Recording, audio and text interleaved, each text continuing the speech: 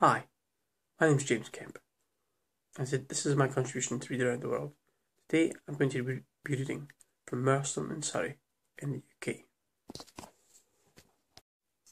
The gentleman mistook the looks of shock and awe as surprise and delight, and continued enthusiastically.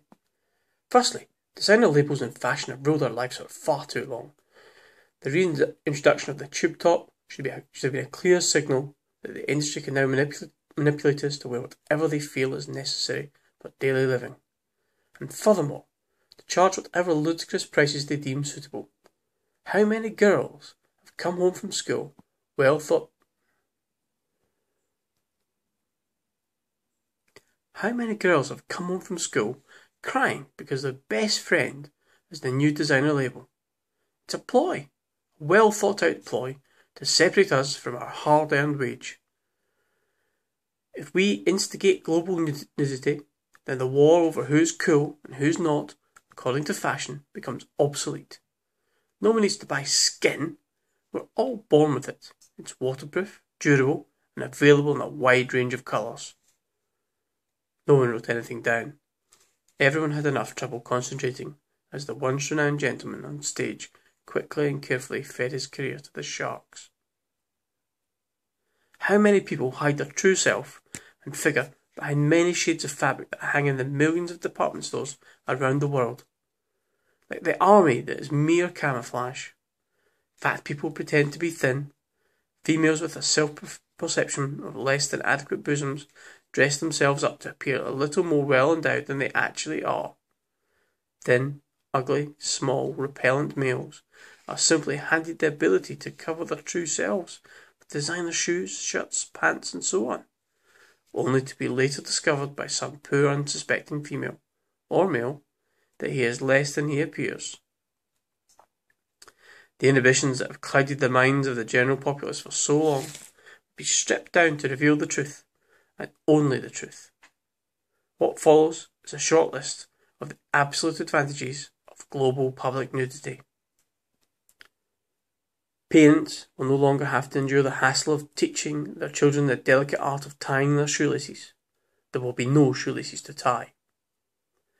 Breastfeeding will become a communally shared experience, much like asking for directions or helping an elderly lady across the busy street. There will always be a wide range of portable milk outlets available, especially in busy places like malls or Starbucks. Global public nudity holds a great deal of advantages for men also. No longer will a suffering male have to wait for a celibate fiancée to display the goods. Playboy will become a thing of the past, therefore cutting down on the clutter of magazines that shroud the bathrooms of many homes.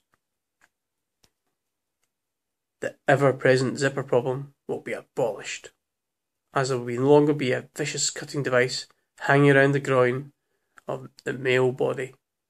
But the greatest advantage to males will be the decrease in time that taken for women to get ready for work, dates, dinner, a movie, etc., etc.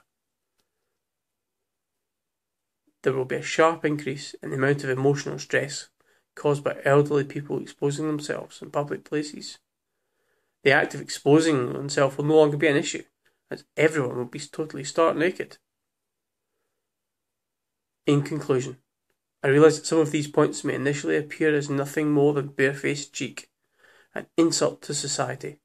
But I assure you, these points are logical and viable and would instantly solve many of the problems that plague the world as we know it today. So I propose that we strip away our inhibitions and bare the world to our true selves. He finished with a flourish. There was no applause, applause, no standing ovation. The university allowed crickets to be present at the lecture they would have been the only sound heard. To be continued.